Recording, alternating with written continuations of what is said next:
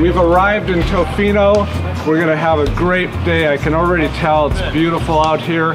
We're going after Chinook and Coho with TofinoFishing.com. Our boat's here, the crew's getting it ready, so let's go fishing. It's time for the Northwest Fishing Reports with Aaron Borg, Mike Carey, and Rob Holman. Come along as we travel to hidden gems and fishing hotspots around the Northwest. You'll see a little of everything as we fish with top guides on their home waters and bring you the latest in tackle, tactics, and techniques to help you catch more fish. Today, Mike and Aaron get after some ocean salmon in beautiful Tofino, BC with Captain Rob Frawley. Then Rob is with guide Jerrod Gibbons, and they are going kokanee crazy on Conconully. Now, it's time to go fishing. Presented by your Inland Northwest Toyota dealers and the Fishing Hole and Sports Shop. We're gonna go down to a spot called Wya Point. It's uh, about an hour run down the coast. We say an hour just based on sea conditions. Sometimes it takes us a little less time. Uh, but we ball cart about an hour. And uh, today we're gonna be targeting some Chinook salmon. Uh, there's still some Chinooks that are hanging around there waiting for this last uh, little bit of rain to push them up the rivers before they go. But uh, over the last couple days, we've been getting into some nicer Chinooks still. Um, some of them are still pretty chrome. They're not too black yet, which is pretty good for middle of September fishing. Again, my name is Rob, this is Gibson, and uh, the boat is called Tenacious.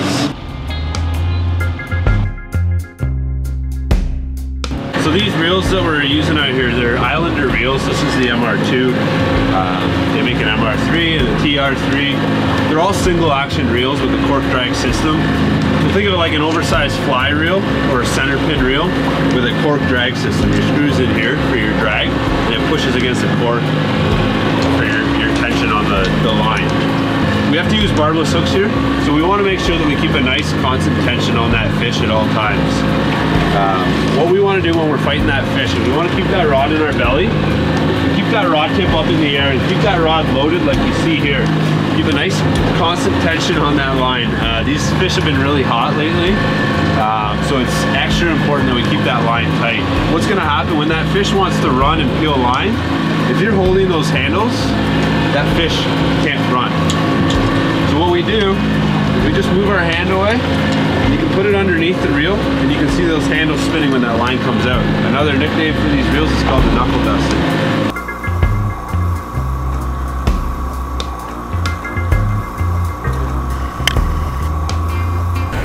Still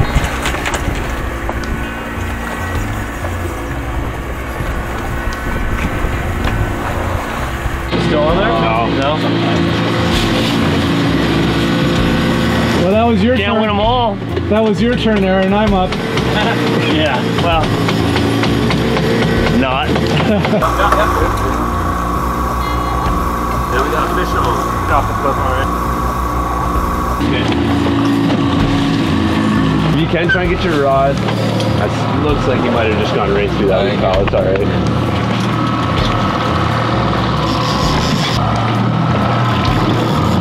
So we're out here off Tofino, fishing with Tofino Fishing. And we've got our first one on. Looks to be a decent size. Feels good. I'm gonna move this uh, just right here.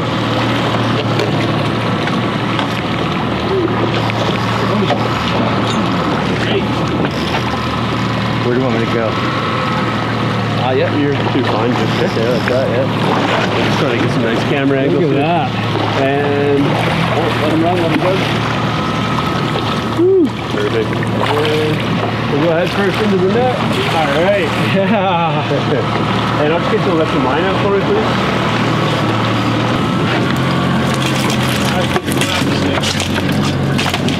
First one, all right. Say that again. Way to go, Aaron. All right, first fish of the day.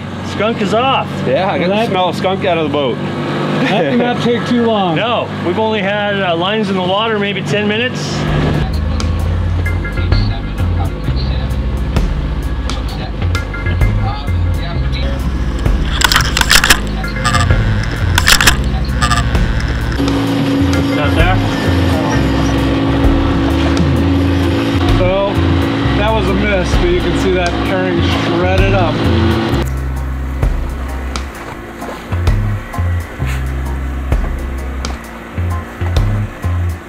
Fish on!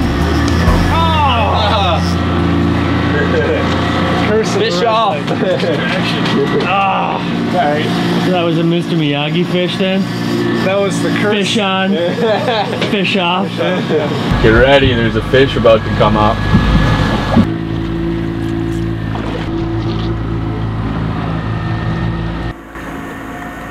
There you go. Off the cliff, just start reeling. That's the deal. Up. Nice. That's the deal. Got him. You want to that raider? He's doing the head shake and running a little bit. yeah, hell yeah. I can see a flash out there. There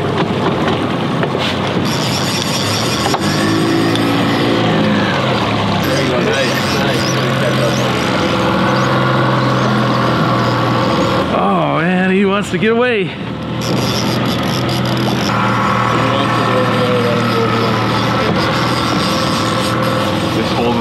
Him out to the side. Yeah.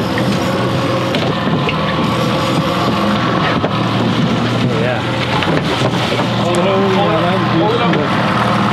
Oh, yeah. Go with it.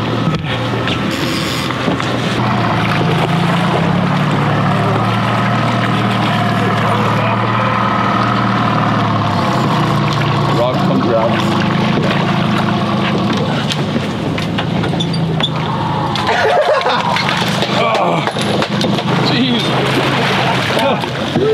Wow. I can't believe I just did that. Cool. Dance. There we go. That's a pretty fancy netting job there, Gibson. I turned it on. Yes. Nice. Yeah. nice job. Good All job, right. Noah. Your first uh, Chinooki? Oh yeah. Congratulations. Today was Noah's first Chinook, so we have something special. Rob? It's a little tradition out here in Tofino that for anybody that catches their first Chinook, you gotta eat the heart of the fish you caught. Oh yeah. So here you go, Noah. There's a Alright. salmon heart. Your first salmon. Not beaten. It's a little bloody. Look at that. Salty. well done. Nice fish. Thank you. Attaway Noah. Beautiful.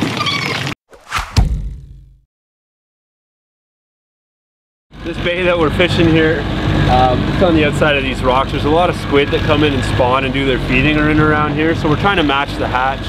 We call this the turd. And what I've got on the inside here is some beads. You stuff it full of beads.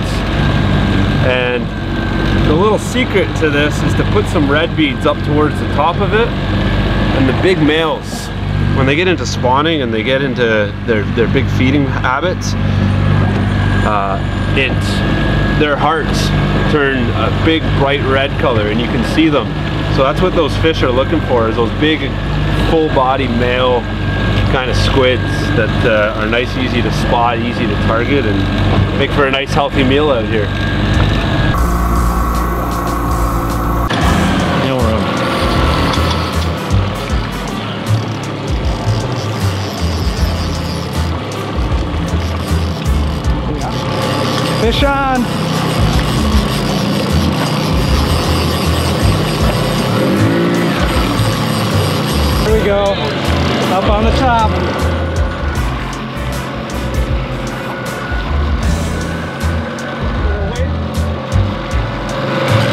That tide change bite and it might have started.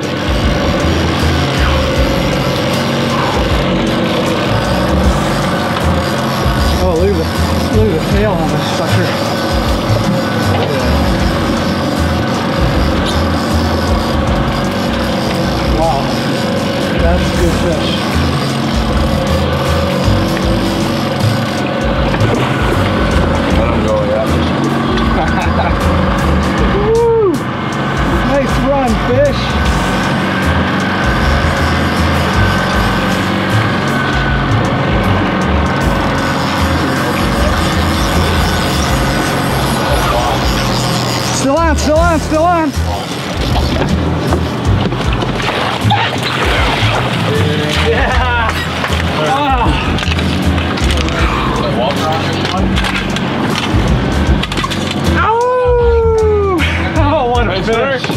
Thank you, sir. Nice net job. That fish came running back at the boat.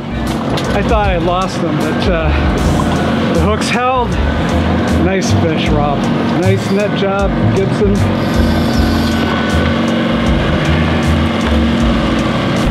Tofino Fishing, Vancouver Island. Go get them. big fish, big fish.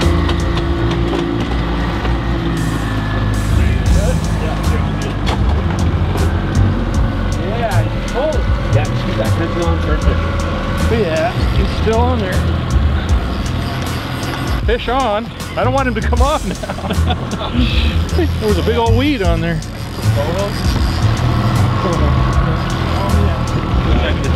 Okay, stop. Did these wild or hatchery yet?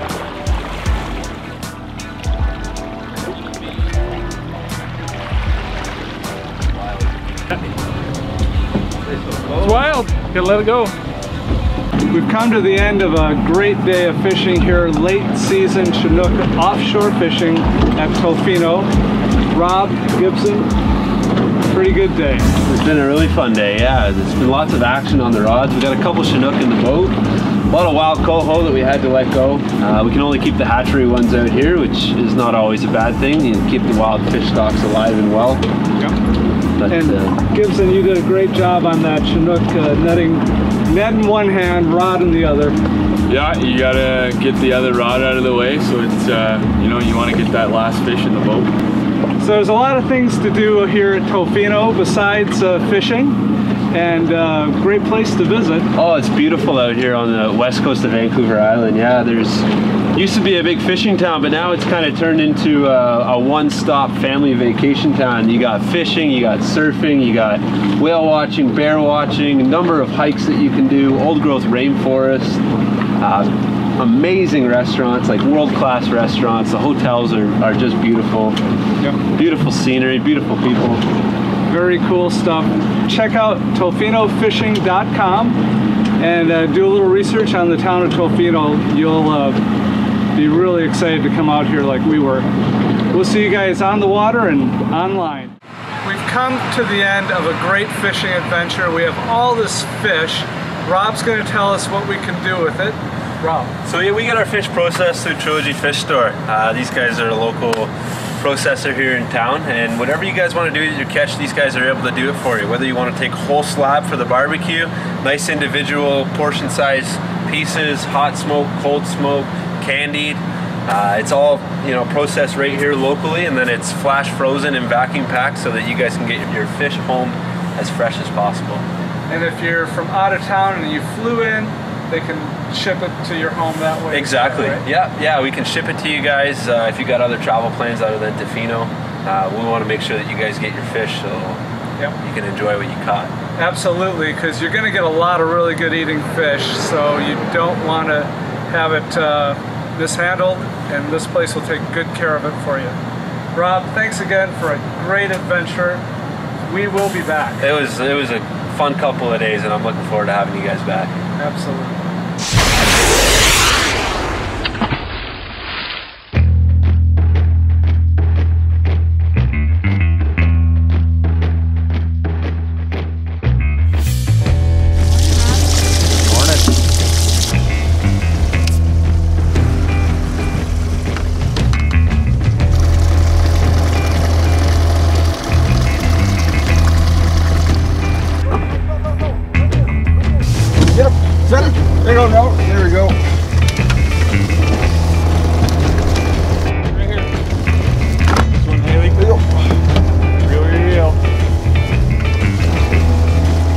About three minutes in on Conconully here, Jerrod Gibbons and the guys uh, from the Youth Outdoors. We got a couple fish on. Looks like we're one for two out of that action there. So uh, Jerrod, 100 feet off the launch, is that about right? 200? Yeah, 200. 200 feet off the launch. Long run this morning. Long, long run out. It's hard to get out here and set up. Exactly. And that's our that's our first fish of the day.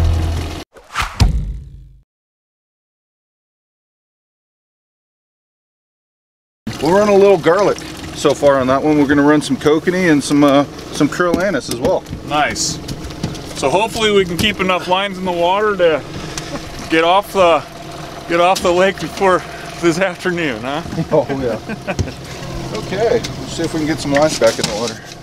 Didn't even know we had them all out yet. We did, no, not by I wasn't, I wasn't in fishing mode quite yet. I'm still looking up on the hills for deer. I know, huh? All right.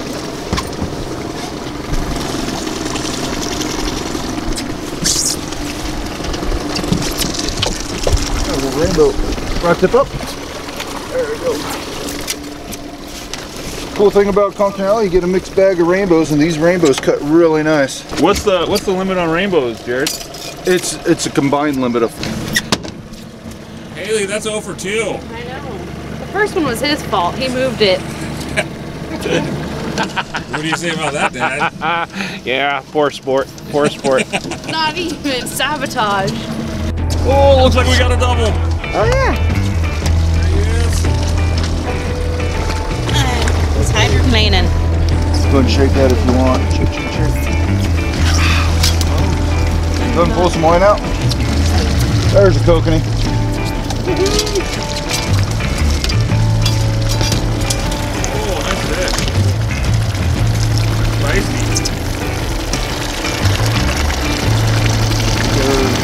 Rock tip up.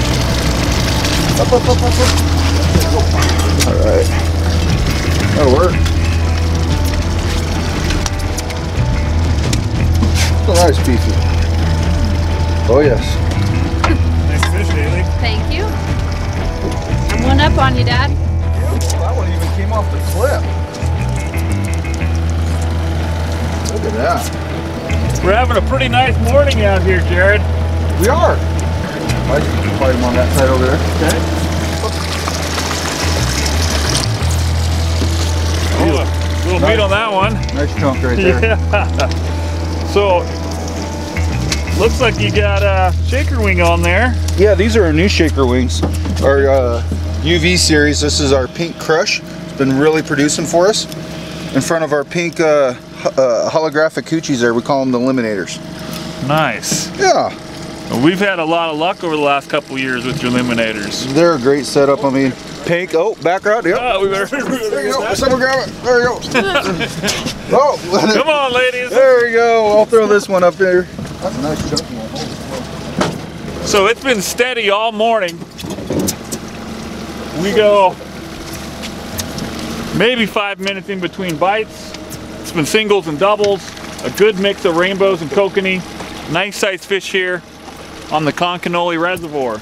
All right, guys, we're out here on the Conconully Reservoir with Jerrod Gibbons of Okanogan Valley Guide Service. We're fishing for kokanee, some nice rainbows, and today Mike Sandman's joining us with his daughter Haley.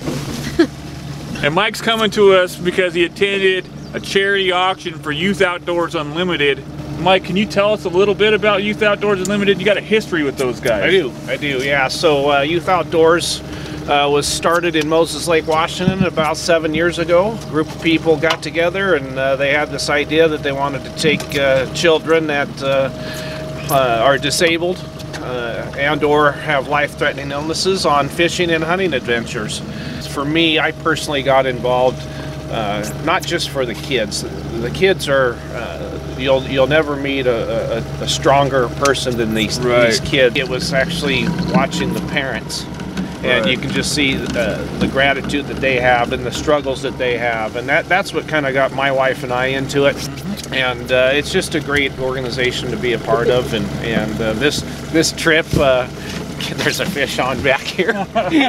No, don't mind me. Go for it. We got important stuff we're talking about here, Jerrod. We can stop catching fish. Keep rolling. and a lot of the outfitters like like Jerrod with Okanogan Valley Guide Service, they, they'll donate these trips to these banquets. And, and I had never been uh, kokanee fishing before, and uh, I thought, heck, I- I'm going to try it. And, and my daughter's going to get married uh, here in September, and this uh, trying to do one last father-daughter Sure. adventure before uh, she runs off and gets married here in September. So, Well, and congratulations, Haley, on that. Thank you.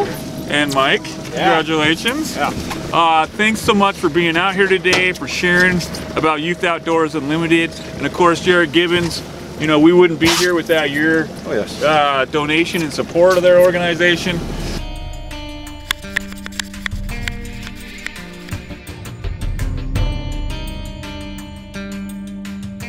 You've got a kokanee setup here that's been very successful on this lake, and you use the same setup on Palmer, mm-hmm. on Chelan, on any of the area when you're targeting kokanee, and you still catch some rainbows with the same stuff.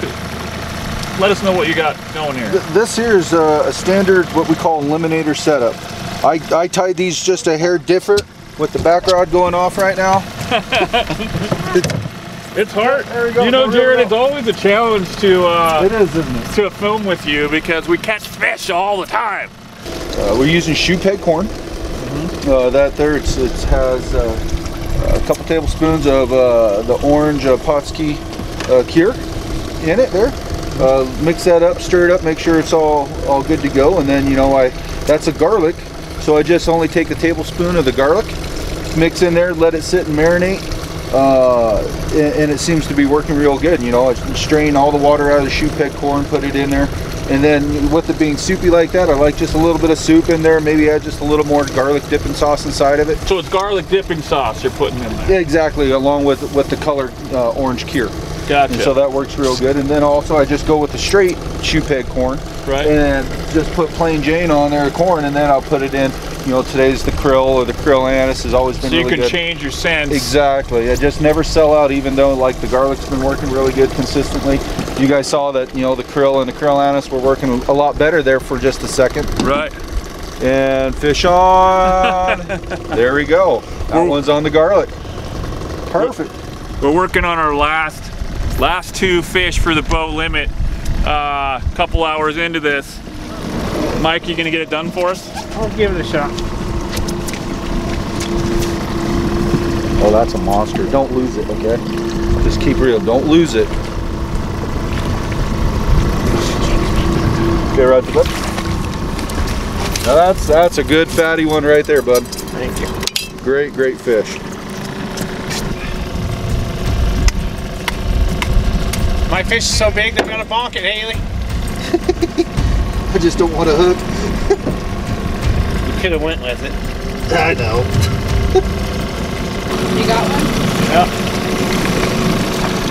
Jerrod, we're trying to finish. Oh! Here's a nice It one. was a beauty. That was a beauty fish. It was a good day. Lots of fish, lots of action. Good fun. We're done in time for the pancake house. Hillary and Sarah and Mike and Haley, they had a blast out there, and so did I. Hey, thanks for having me out, Jerrod. Appreciate All right. it. Thanks a lot.